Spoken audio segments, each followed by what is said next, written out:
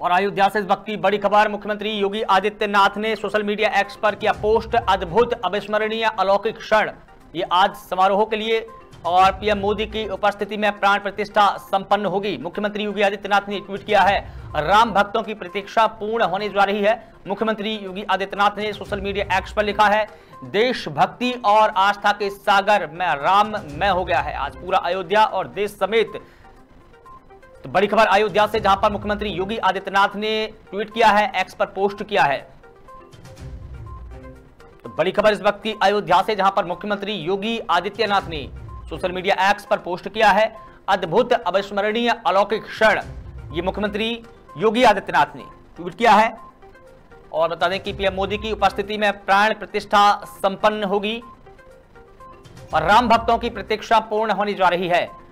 करोड़ों भारतीयों का सपना पूरा होने जा रहा है। देशभक्ति और आस्था के सागर में आज पूरा देश राम में हो गया है।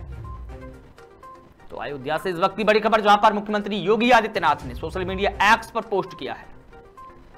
अद्भुत, अविस्मरणीय, अलौकिक क्षण आज का यह दिन मुख्यमंत्री योगी आदित्यनाथ ने लिखा। प्रधानमंत्री नरेंद्र मोदी की उपस्थिति में प्राण प्रतिष्ठा समारोह संपन्न होगा। राम भक्तों की प्रतीक्षा पूर्ण होने जा रही है। करोड़ों राम भक्तों की आस्था का केंद्र श्री राम मंदिर आज प्राण प्रतिष्ठा होने जा रही है। देशभक्ति और आस्था के सागर में पूरा देश आज डूब गया है।